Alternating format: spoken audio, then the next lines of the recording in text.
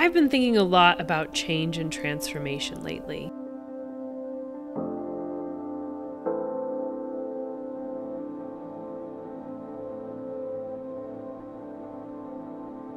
And not just because of the change in the seasons.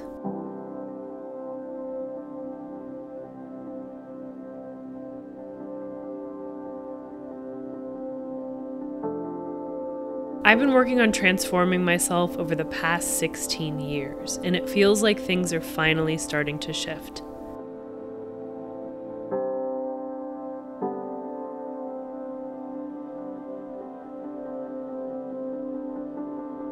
I spent the first 25 years of my life like a monarch caterpillar, mindlessly consuming everything in my path, only concerned with keeping up and getting ahead.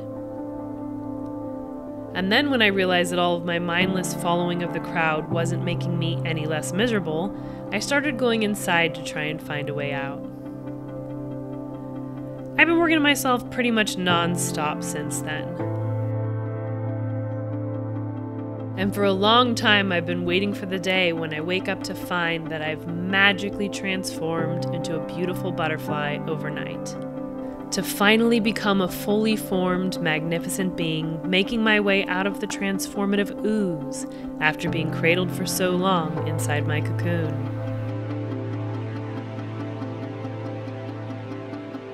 But recently, I came to realize that I hadn't even reached the ooze state yet. I was still very firmly at the stage where I was shedding the bulk of my skin, preparing to make my way into my cocoon.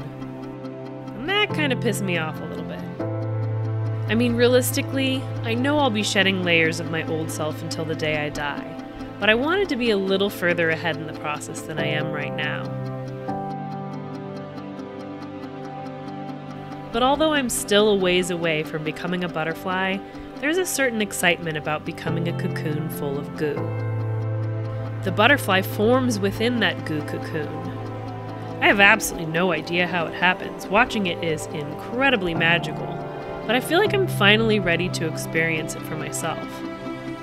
Obviously, not literally, that would be really freaking weird. So here I am, making my way into my goo filled cocoon with little Maggie by my side. It feels like it's finally time to leave my past behind and create my future. I have an idea of how I want that to look, but realistically, I have absolutely no idea what it'll actually look like. but thankfully, it usually tends to exceed my expectations, so fingers crossed.